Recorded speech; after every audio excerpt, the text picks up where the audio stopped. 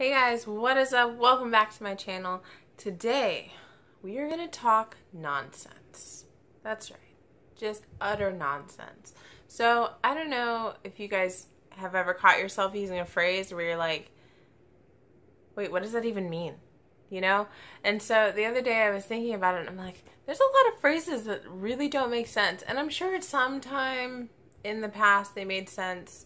But like today, nobody knows why we say them, but we still say them like all the time. So, so for example, like kick the bucket.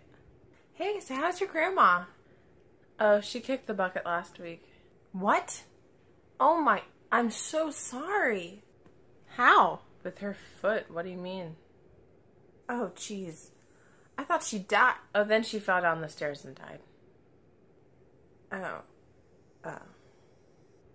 No sense. What does that even mean? Like, where did that even come from? Who kicks buckets?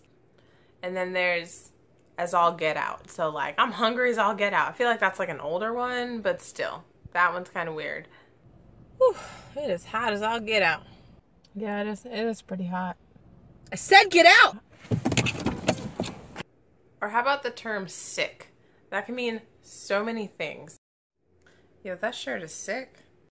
Thanks, I just got it yesterday. I really like. No, I mean, that shirt's sick. Or like nobody's business. Man, I gotta pee like nobody's business. Okay, then why are you telling? It's none of your business. Or how about how about horse cruelty phrases like I'm so hungry I could eat a horse. Poor horses. Dear God. Ugh, I'm so hungry I could eat a horse. What? No, you couldn't. That doesn't make any sense. It's bigger than you. Eh.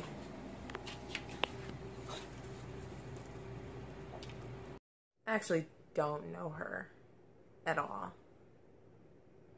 Well, here's a personal favorite eating like a bird.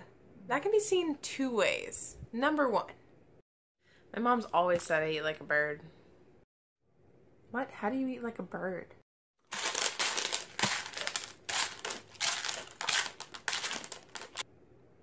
That was aggressive. And number two, you know, I've been told before that I eat like a bird. You know, birds eat like half their body weight. I really don't think it's. I know. Okay, going corral. All right. And then last but not least, beating around the bush. Wait, what? Hey, do you like my shirt? It's new. Oh, it's new, huh? That's uh, that's cool. You know, I heard there was a sale at the mall. I really uh need to get some new shirts myself. Okay, can can you just stop beating around the bush and actually answer the question? What? Oh. Uh, I think it's ugly. So as you guys see, there's a ton of phrases out there, and I'm sure there are tons of them that I even missed out. But there are phrases that we use, and we're like, we don't even think about it. We just use it. We just say it because you know, just words spewing out of our throats.